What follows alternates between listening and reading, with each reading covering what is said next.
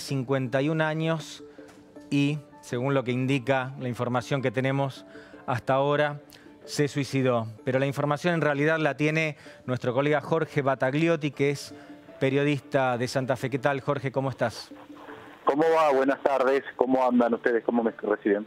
Bien, estamos muy bien, te recibimos bien y estamos bastante conmovidos por la noticia porque el recuerdo que yo tengo de, Torresani, obviamente muy pero muy limitado y solo detrás de la reja de la cancha de fútbol, es que no paraba de correr. Y es un jugador, esa clase de jugadores que hace empatía con la hinchada, ¿no? El que siempre transpira y deja todo por la camiseta, como se suele decir en el fútbol. ¿En qué condiciones eh, vivía Torresani o qué pudo haber, qué pudo haberlo conducido a este desenlace? Sí, un Julio César Torresani que con el con transcurrir de las horas uno se va enterando más cosas que eh, en la cotidianidad de cada día uno las dejaba pasar por alto, no se daba cuenta. Eh, además te quería agregar de que de jugar en Boca, River Independiente, también jugó en Colón Unión, eh, marcando los clásicos, Boca River, Colón Unión. Faltó jugar en Racing para que prácticamente juegue en todos los eh, clásicos del fútbol argentino. Un Julio César Torresani que estaba pasando un momento anímico mal, también un poco en lo económico. Esto uno se va enterando con el correr del día y las horas. vos podías hablar con Julio César Torresani, llamarlo, que no había drama era un tipo que se podía hablar de todos los temas. Es más, yo he tenido eh, posibilidad de cruzarme hace un par de semanas y hasta chicañábamos en hacer algún programa junto, ahora como se estila con los ex futbolistas. Eh, estaba viviendo en el predio de la Liga Santafesina, eh, recordemos para los que son futboleros, fue el club Santa Fe Fútbol que supo crear Gabriel Amato, Ariel Garcé, que ahora tiene un edificio de dos o tres pisos donde vive gente y además eh, habitualmente concentran equipos que vienen a Santa Fe eh, durante la pretemporada o en algún que otro partido. Un huevo Torresani que había trabajado en febrero y marzo en Rampla Juniors, no sé si lo recuerdan, que por problemas con la dirigencia fue echado, regresó a, Santa Fe hace un mes y medio y le pidió colaboración a las dirigentes de la Liga Santafesina para que le den lugar hasta que se acomoden.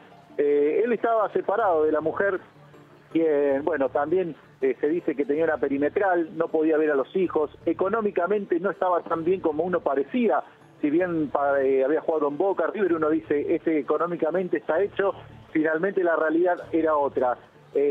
hoy hablando con el presidente de la Liga Santafesina, Axel Menor, y otras personas allegadas al predio, contaban que ya lo veían mal al huevo Torresani y estaban prácticamente en, en constante contacto con el huevo para que no tome ninguna decisión que finalmente hoy por la mañana tomó la drástica decisión de ahorcarse, eh, lo que me dicen a mí con el cable del aire acondicionado. Llamativo todo esto que contás. Me sorprendió el hecho de que tenía perimetral para acercarse a la mujer y a los hijos. Sí, eh, estaba separado de las dos mujeres. Eh, bueno, de la última, eh, si bien luego conocido el hecho, eh, familiares y me decían que la ex mujer también se acercó al predio. Eh, creo que eso de la familia, un poco del tema económico y el, también lo que me decían, no es que haya sido eh, decisivo, pero el no tener trabajo constante, no, no pudo incluirse en un club de fútbol. Recordemos que dirigió San Martín de San Juan, dirigió Colón y después deambuló por Esportivo Patria, por Mandillú, por Rampla Juniors. Eh, y justamente un amigo mío de la radio, porque acá prácticamente lo conocíamos todos, le había contado que estaba yendo al psicólogo, entre tantos temas, era porque la difícil eh, profesión de ser técnico en Argentina, que te contratan bajo presiones, te inventan, inventan peleas, eh, y un Julio César Torresani que le faltaba un poco de de ser mediático, de, estar expuesto en las cámaras, en los medios, en las canchas, eh, y creo que todo eso aumentó, sumado al problema económico, porque decíamos, eh, no estaba viviendo en una habitación, sino que era una oficina eh, reacondicionada, le pusieron una cama, una heladera, un televisor, y bueno, y era prácticamente su habitación, pero como te decía, era una oficina donde vivía Julio César Torresani pegado al hotel de la Liga Santafesina, al norte de la ciudad de Santa Fe, donde iban a visitarlo algunos amigos, pero no lograron darse cuenta eh, del mensaje que estaba dando Julio César Perezani. No sé si tuvieron oportunidad eh, de ver las capturas de pantalla con los... Eh, eso, eso te iba a decir, Jorge. Me parece que ahí está una pista del desenlace justamente del estado de ánimo de Torresani en, en sus estados de ánimo, sus estados de WhatsApp. Te lo voy a leer ya que estamos. Llegó el momento, demasiado la espera. Este es uno, a las 16.54. No sé si es efectivamente ayer. Sí. Acá otro ayer a las 18.31, es decir, dos horas después. Gracias amigos por estar. Ustedes saben ya, escalofriante leer esto hoy a la luz de los acontecimientos. Los estados de, WhatsApp de Torresani. Y vamos a ver el último, ayer a las 20.35, es decir, tenemos tres con un intervalo de dos horas cada uno. Y nos seguimos juntando con gente que a uno le soltó la mano y que no son capaz, estoy leyendo textual, de preguntar cómo está uno. Igual Dios pone las cosas en su lugar. Esto decía Torresani a través del WhatsApp.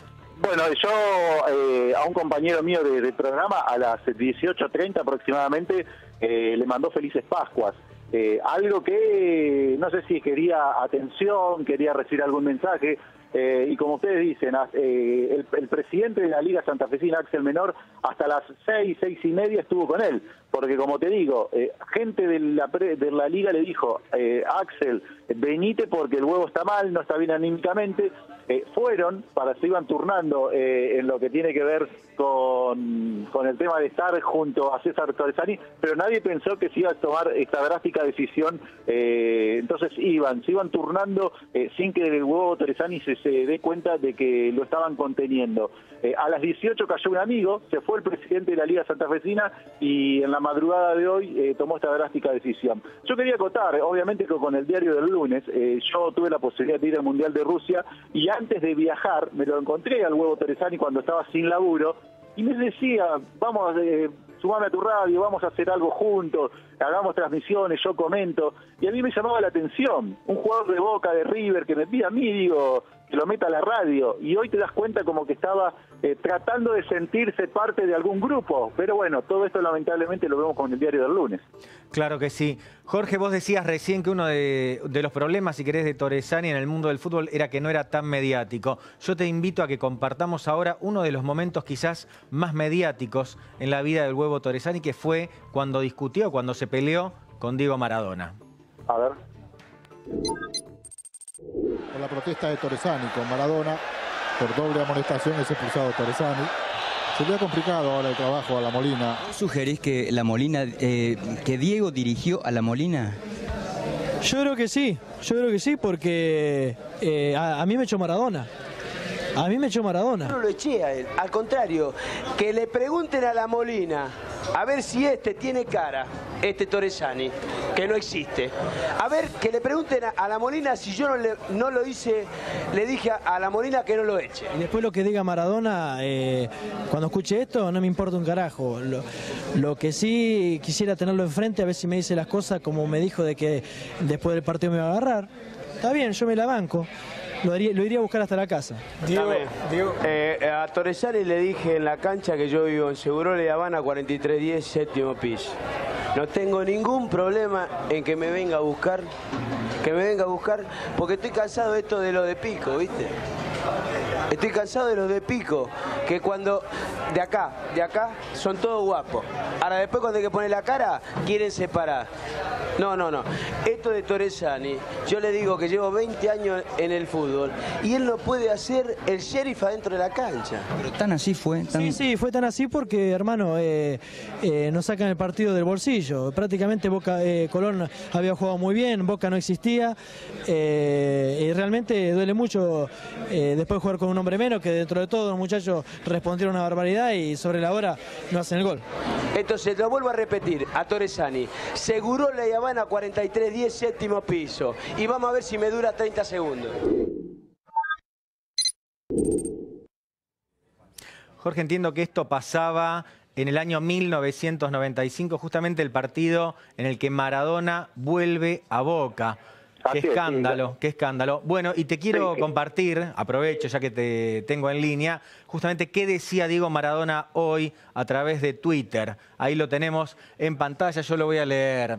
Pensar que lo quise pelear y hoy lo lloro. Después de aquella famosa discusión, él vino a jugar a Boca y fuimos grandes compañeros. A propósito, está la, la foto de Torresani con Maradona, Maradona con Torresani. Hablé muchas veces con él por teléfono. Yo pensé en traerlo como segundo mío.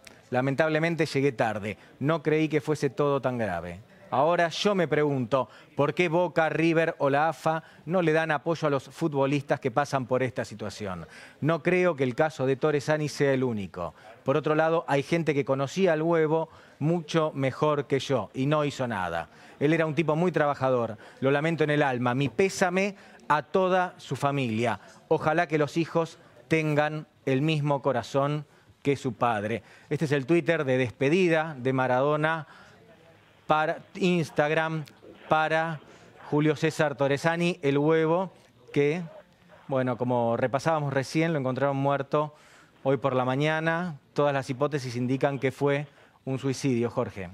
Sí, eh, dos cositas. Bueno, sí, prácticamente falta que lo hagan oficial, pero eh, fue un suicidio lo de Julio César Torresani y que lamentablemente eh, se ahorcó lo que me dicen a mí con el cable del aire acondicionado. Esa foto que utilizó Maradona para ponerlo en las redes sociales es la que tiene justamente en el WhatsApp de que tenía el número, el huevo Torresani. Y por último, con respecto, bueno, también lo que me decía el presidente de la Liga Santa Fecina es que Julio César Torresani quería ir a hablar a Buenos Aires con los dirigentes de la AFA para tratar de, de hacer algo con los jugadores o exfutbolistas que están en el caso como Torresani, sin trabajo ya sea, no sé si obra social, si algún trabajo, pero bueno, la idea de él era eh, que se los tome en cuenta y que no estén a la deriva, por así decirlo. Por eso mismo Axel Menor eh, creo que va a seguir con ese mensaje y en los próximos días va a estar viajando a la Buenos Aires para juntarse con la AFA y seguir con la idea que tenía Julio César Torresani antes de tomar la drástica decisión.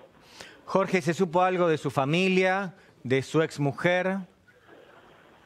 Eh, no, solamente que hoy a la media mañana, cuando se conoció la noticia públicamente, alrededor de las nueve arribaron al predio de la liga donde estaba viviendo, San Aristóbulo del Valle al 10.000 de la ciudad de Santa Fe. Había llegado el fiscal, uno de sus hermanos y una ex mujer, la, la última, eh, y bueno, pero no, no se supo más nada, seguramente en las próximas horas eh, comenzará el velatorio acá en la ciudad de Santa Fe. Lo que se sabe es que sí, es que estaban separados, algunos allegados dicen que eh, se le impedía un poco la, relación con el hijo, que también habría afectado eso en el presente anímico del huevo Teresani, pero estaba viviendo solo.